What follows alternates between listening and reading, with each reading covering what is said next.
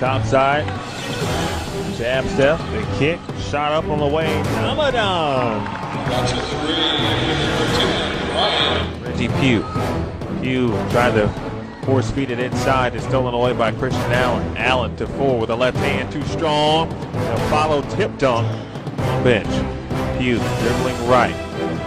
Has a seam in the middle, blocked by Fain with eight seconds left on the shot left on the shot clock. Brown has to fire with two. Bang! That's a big three. 25 points in that one.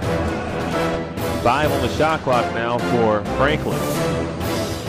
Big three on the way, and that one is good. Oh.